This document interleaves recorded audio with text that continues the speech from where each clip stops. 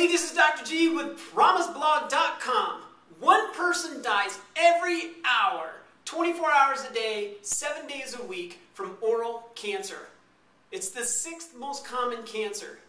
And if you are diagnosed with oral cancer, there's a 50% chance you're going to die. However, the good news is if you have early detection, 90% of the time, oral cancer is curable. In the last 30 years, we've seen a 60% increase in oral cancer in people under the age of 40. And this is attributed to primarily something called HPV. HPV is also known as human papillomavirus, and it affects 40 million Americans. It's a sexually transmitted disease, so it is avoidable, but there are specific strains of HPV that cause oral cancer.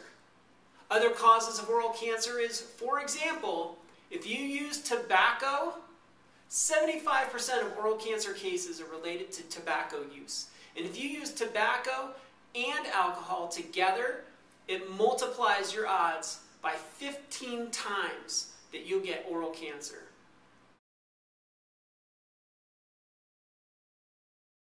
So what does oral cancer look like? It's a white or discolored area in your mouth, most likely on your lips, your tongue, or the floor of your mouth.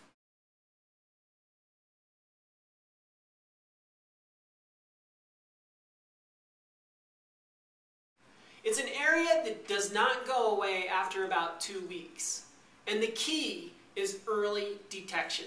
So if you see a spot in your mouth and it hasn't gone away after two weeks, make sure that you hightail it to the dentist so they can take a look at it and determine if it's something that needs to be biopsied or looked at in a further manner. But since early detection is the key, make sure your dentist is using one of the more advanced techniques for early detection. One example of that is the Velscope. And that is what I want to talk to you about primarily today.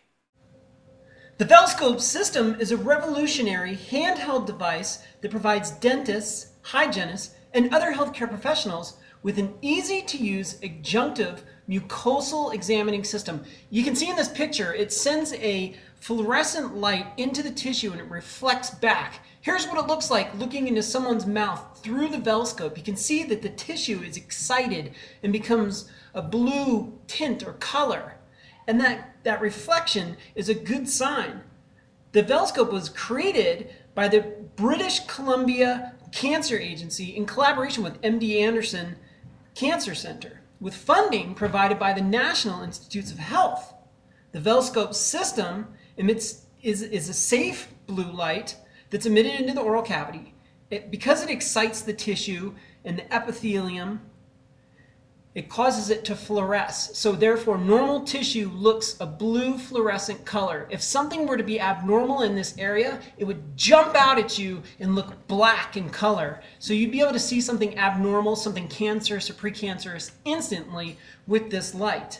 And the difference of this between looking at things with a white light examination or just a normal examination is significantly different. The incidence of oral cancer has increased significantly over the last few years.